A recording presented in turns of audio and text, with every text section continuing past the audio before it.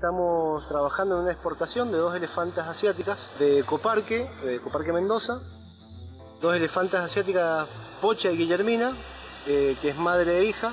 Pocha tiene 55 años, vino en el año 68 desde Alemania y de ahí entró al recinto y no, no se movió más.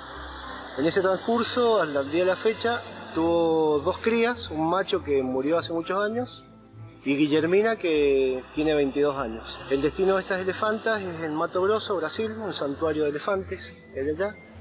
Y para poder realizar esta exportación, eh, desde Coparque tenemos que, que, cumplir con los requisitos sanitarios que, que solicita la entidad sanitaria de Brasil, que consta de muestras de sangre para determinación de aftosa. Se realizan también un hisopado de la trompa para ver si hay, tienen tuberculosis. Se realizan unas vacunaciones de aftosa, de tétano y se medica para, durante cinco días con un antibiótico para control de leptospirosis. Y después se realizan las desparasitaciones interna y externa y ya con eso se puede emitir el certificado veterinario internacional para la exportación. Esta, esta exportación se realiza en dos módulos, dos containers adaptados y preparados para el transporte de ellas, que son transportados, lavados y desinfectados y luego cumplen con, la, con el servicio del transporte.